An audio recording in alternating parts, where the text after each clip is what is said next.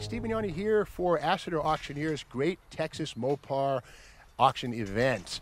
This is a 1948 Dodge B2 stake bed truck. Now, I'll admit, trucks aren't my strength, but this is a fantastic, looks like a rust-free example of the breed. The magnet sticks everywhere, and I don't see any bubbling of rust. Let's look under the hood and see what we have. Okay, six cylinder, flathead six banger. This is probably the uh, 230 cubic inch industrial six that uh, served Chrysler Corporation from about 1936 through 59. One barrel carburetor. Uh, manual steering, of course, manual brakes, all old school, leaf spring front suspension, beam axle up front, the original type wheels. We see them right here. These are the correct wheels on this truck, front and rear. These are uh, 16 inches. Uh, got the highway type mirrors.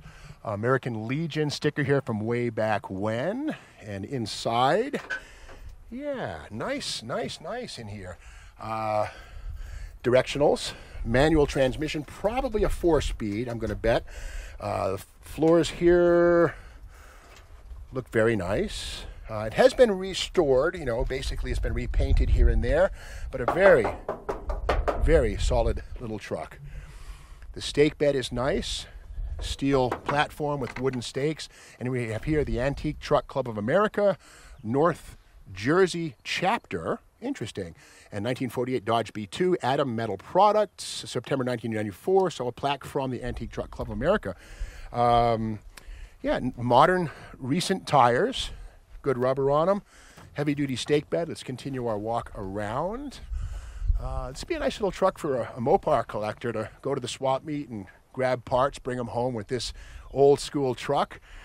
Uh, double leaf springs in the back, of course, the helper springs when you're really loaded down. There's a little job box here, and inside, hopefully, no rattlesnakes. Okay, it's empty. It's clean. Nice solid Texas metal, no rust here inside the truck here. Yeah, again, nice clean interior. Uh, looks like, uh, yeah, chrome bezel speaker for maybe a radio. I don't see the radio, but there's a speaker of some type. Kind of a cool little aftermarket touch, this big rig style, straight up exhaust stack. And again, the rust-free factor continues all the way. So this is a really nice example of a 1948 Dodge B2. It's item number 80. Bid accordingly.